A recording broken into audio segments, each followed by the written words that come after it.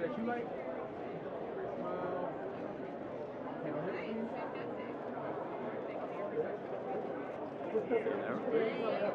Hello, get some fashion shots.